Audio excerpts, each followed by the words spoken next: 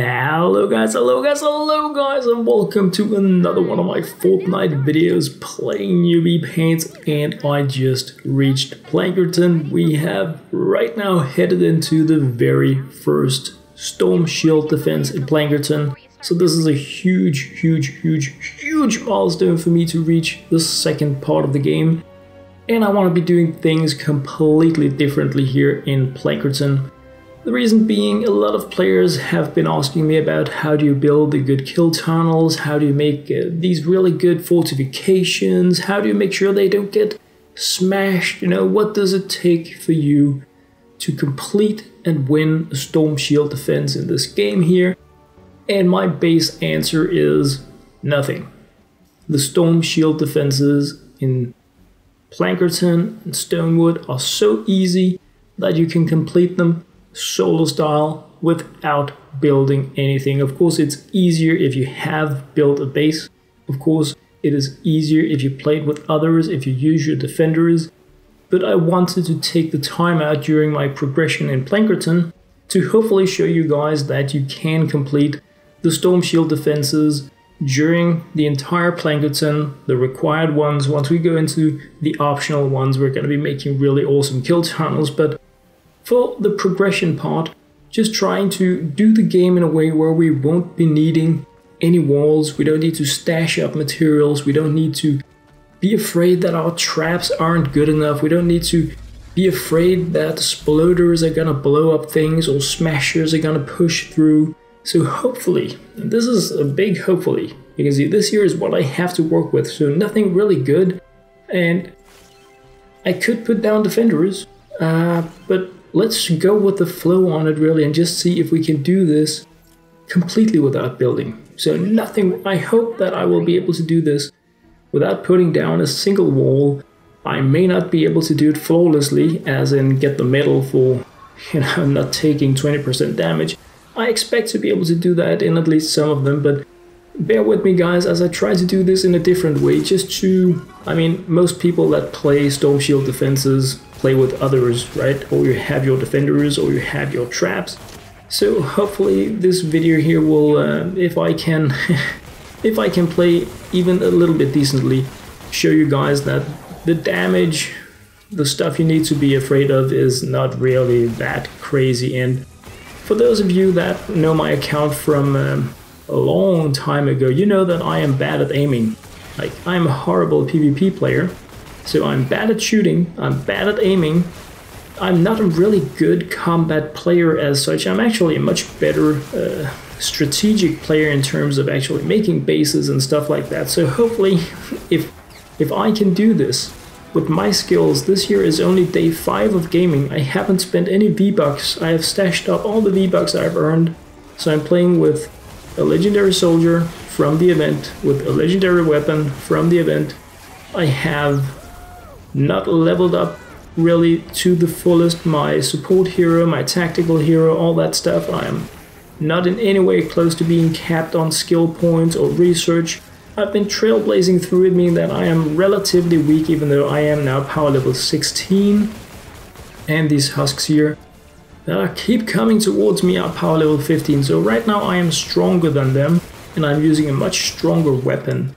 So what I have done is to focus my resources on few things that I really want to make sure work instead of spreading it out over a lot of things that I can use for random things. I don't have a rocket launcher that I'm using, just using my assault weapon and my hero abilities. The thing that is worth Whoa, that was close on. The thing that is worth noting, I feel, is that in general, if you aggro the husks, they will rather take you out than the storm shield.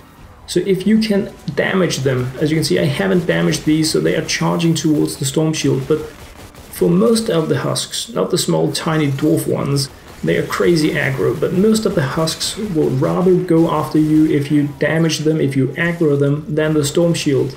So if you have the survivability, if you have the shield and the health or the avoiding skills to just outlive them for the duration of the timer, then these timed waves are going to be really, really easy. You can see they're just standing there figuring out how to attack me. They're not even charging towards the actual storm shield and... Okay, so it has taken damage now, but barely nothing.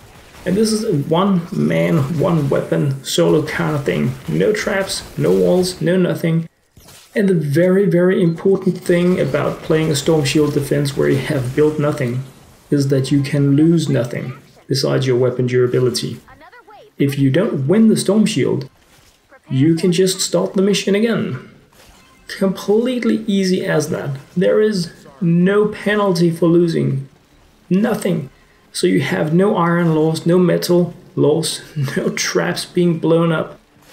And of course, you may not think this is the most fun way to do it. Personally, I love making bases, having the passive opponent takeout kind of thing.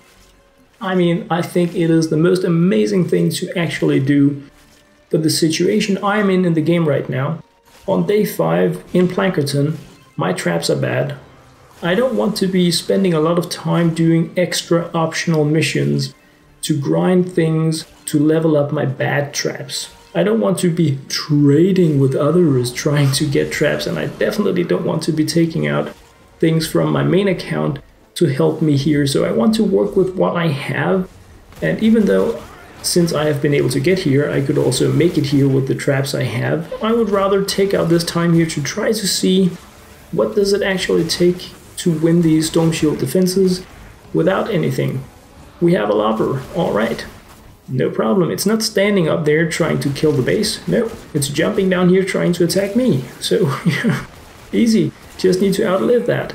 These pitchers slow wind up, meaning that if you see them in advance, you can even avoid their projectiles. You saw one coming there. Lobbers, for some reason, they keep coming down, so I don't even need to think about how can I come up to the lobbers to take them out. No, they're jumping down here, just they're being served on a platter of course we have the minimap at all times. As you can see I'm turning to the sides. It is because the, the husks that we have on the cliff side over towards the west, I constantly feel like they are jumping down, but they're not.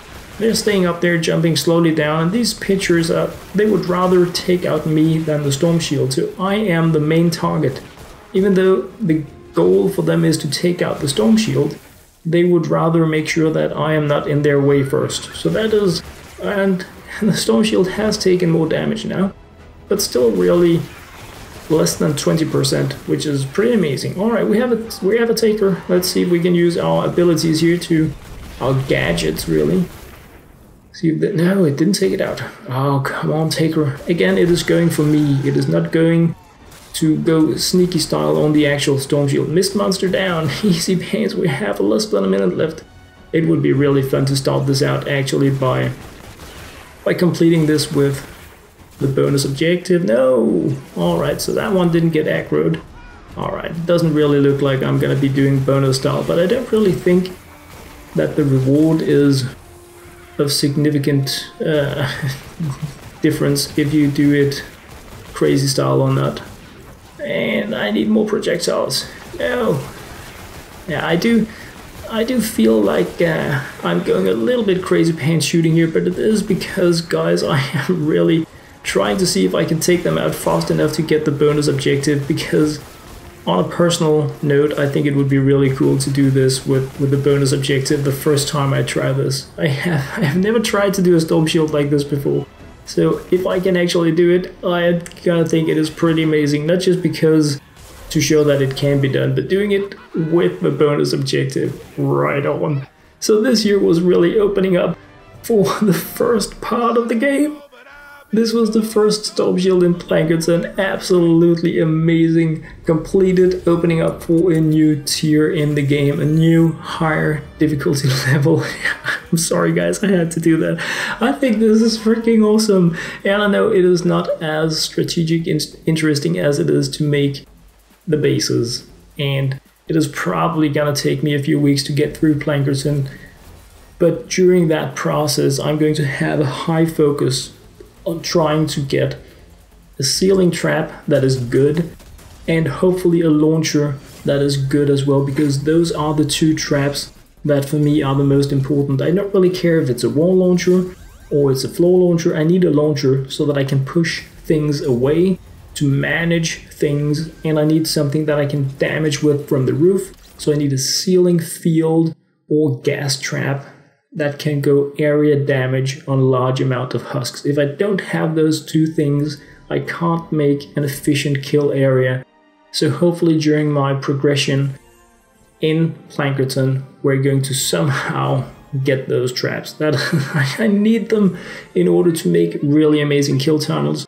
And I absolutely refuse to use my V-Bucks. So I am...